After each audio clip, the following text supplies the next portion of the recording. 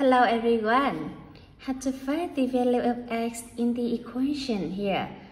x power 5 plus x cubed plus x plus x squared equals minus 1. Right? You need to find x. So everyone see we have four terms expression when you can write x plus plus x squared and plus 1. We can four terms expression. Yes? So it can be helpful to see if factoring by grouping will uh, give you an easy solution, right? So you can say x 5 i power 5 plus x cubed, right? Plus x squared plus 1 equals 0. Yeah? And so you need to I square out and then you can say x cube plus 1 yeah?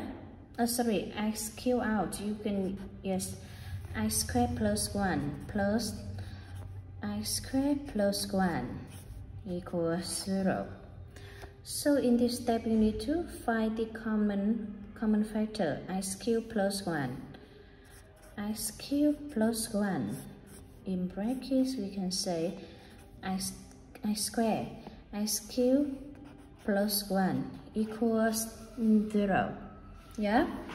So in here you can write x square plus 1 times is, is the identity.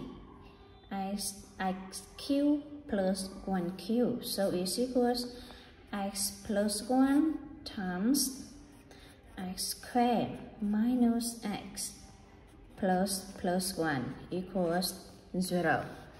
Right? For this step, you can have three equations. Firstly, everyone can see x squared plus 1 equals 0. Yeah? And second, we can say x plus 1 equals 0 2. In the third equation, x squared minus x plus 1 equals 0. Yeah? Or, or, right. And so, for the first equation, we can say x squared equals minus, minus 1. So you can say x equals plus or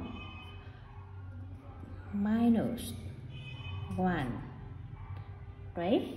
So you can write x equals plus or minus i. Yes, they are complex numbers, yeah? We have two values of x, they are complex number. And so for x plus 1 equals 0, you can say x equals minus 1. And for next solution, yeah, it's the quadratic formula. So we can say x1 equals 1 right?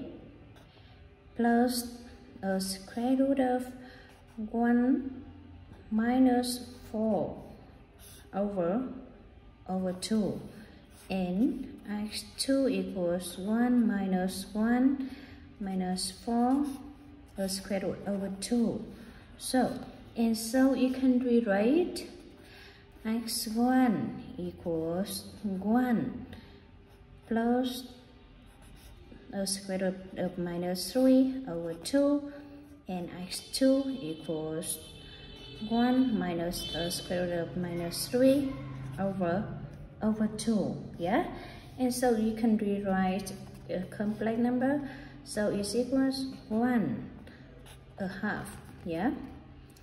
Plus a square root of 3 over 2 i and so it's equal to half minus the square root of 3 over 2 i right? So everyone look at that. We have four, uh, we have five five value of x in the equation below.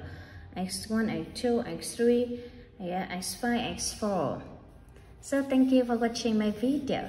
Don't forget to subscribe my channel. Love you all. Bye bye